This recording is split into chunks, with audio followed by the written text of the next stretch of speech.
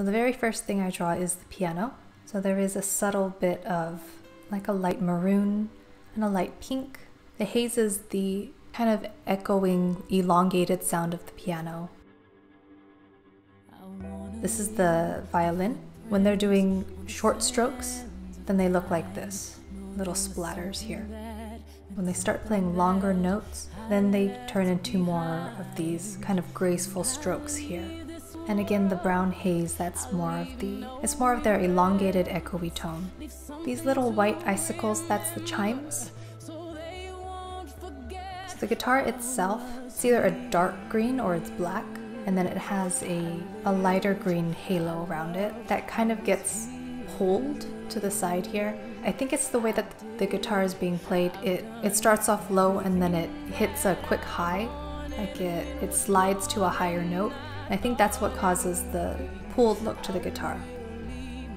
Now there are two kinds of percussion that I hear. One is a, a very rhythmic tapping, and that's the kind of this stair look here. There's also kind of a an electronic splat, and that's what this black part is. It's the sound itself is black, but I put a little bit of white splatter behind it so that you can you can see it. It gives it a little bit of highlight too. Okay, now we get to Beyonce's voice.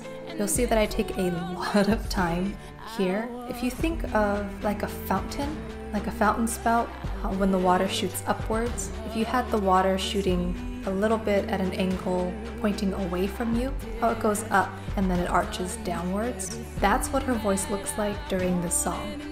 It, it goes up and then it goes down.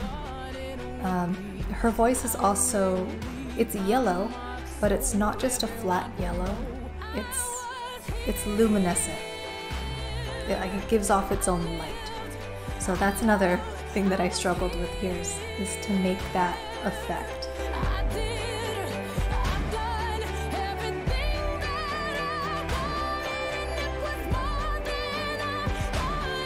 Don't mind this weird little sketch here. There's a texture in her voice. There's a very brief example of this unique texture. It's at 3 minute 14 seconds. When her voice gets a little rougher, it changes from this soft looking kind of fountain into something more hard. I'm not yet skilled enough to draw it the way that it actually looks. Now her background singers, they're also yellow. They're not as bright as hers, but they, they come from the bottom and they kind of point towards her And throughout the song, there's like a, like an echoey hey. That's that brown kind of curve in the back right there.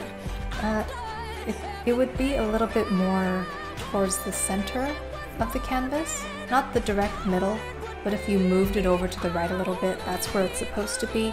But Beyonce's voice would cover it, so I put it a little bit more to the left. That way you can actually see it.